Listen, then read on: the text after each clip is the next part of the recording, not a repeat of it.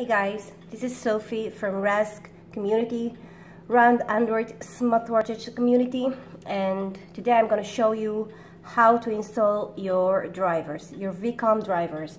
First of all I want to show you what I downloaded. I just looked it up on the internet and downloaded what I need. Uh, just a sec. As you can see this is what I downloaded. VCOM drivers. If I'm not mistaken you need to know if you have 64-bit or 32-bit most computers today are 64 so download this. I have it. I already extracted. I'm you need to do as I say on the video. Let's just close this for now. Go to your menu go to settings.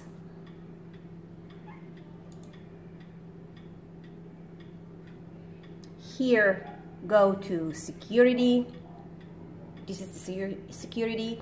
It's in my language but if you look carefully look the symbol. And in English it's security. Click it. Here you have to go to recovery. Again it's my in my language and then you go here the second one and advanced startup and click on restart. The computer will restart itself. And then it will take you to a screen that should have one that called choose troubleshoot. Yes here. You need to check this one and click it. And then go to advanced option the second one. Here you go to startup settings. This is the startup settings not that this one.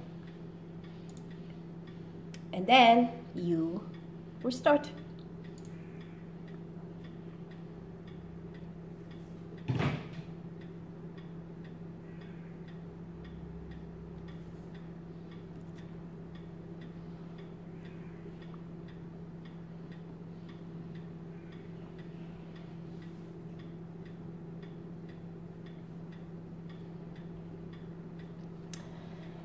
You have these options on your computer from 1 to 9. Choose 7 on your keyboard. 7 on your keyboard. And when you click 7 on your keyboard, it will restart Windows from the beginning. And after that, all you have to do is go to the zip file of the VCOM drivers and extract it, and that's it. Your computer, your computer is ready to recognize the watch. That's it, nothing more. Just a sec, I'm gonna show you how I do that even if I'm already extracted. I'm gonna show you again. Oh, I hate this when it takes time. Okay, just let me open my computer. Sorry.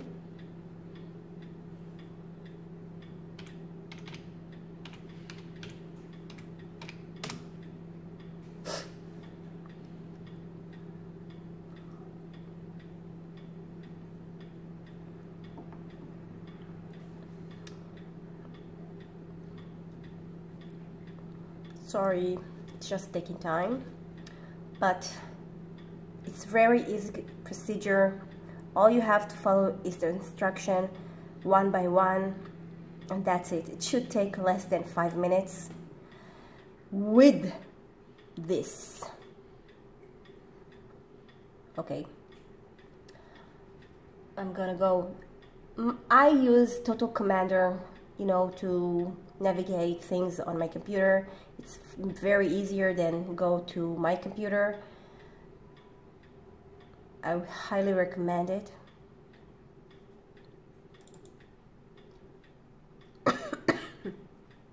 just a sec. Oh, not just a sec, just a minute. Mm, I hate this. Okay. As you can see, I'll show you here. This is software from my PC. I have the VCOM. I open it. And then I extract this both. You can go from here, from my computer and do the same all over procedure, same here.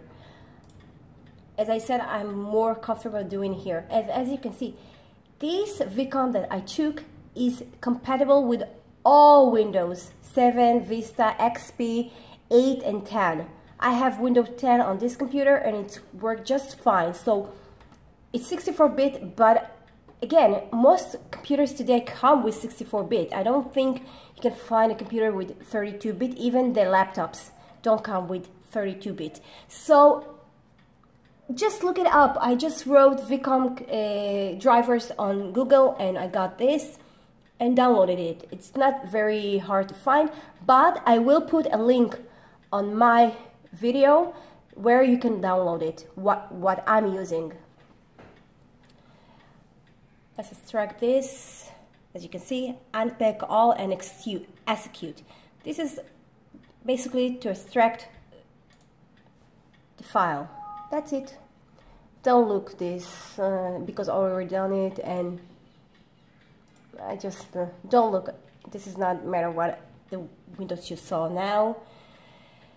And my computer and now my computer is ready to recognize my watch. That's it. Bye for now.